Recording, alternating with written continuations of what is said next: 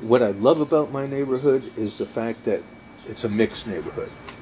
Doctors to renters, um, older people, younger people, the water, the beautiful seasons, the winter ski resorts. You know, this is this town has got a lot of things going for it, and I can honestly say that there's a lot of uh, neighborhood reliability. The kids who walk down here to the high school and stuff like that, they're always waving hi, they're always saying hi. Most, if not all, are just really positive people.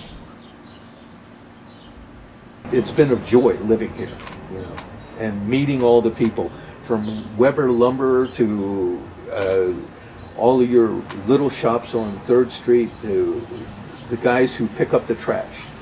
You get to know these people who have to fight every day to make a better life for their kids, but they're doing it.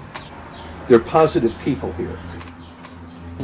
This street has got good neighbors. You walk over on Fifth Street or Fourth or where, wherever you want to go, there is always good neighbors. Your older neighbors are looking out for your younger neighbors, and your younger neighbors are looking out for your older neighbors. The hopes for the neighborhood is to get the next generation in charge of the neighborhood. Taking care of the simple things like picking up your own trash, taking care of your own property, cutting your own grass, smiling at your neighbor so they don't think you're a crab, and waving at people once in a while when they wave at you.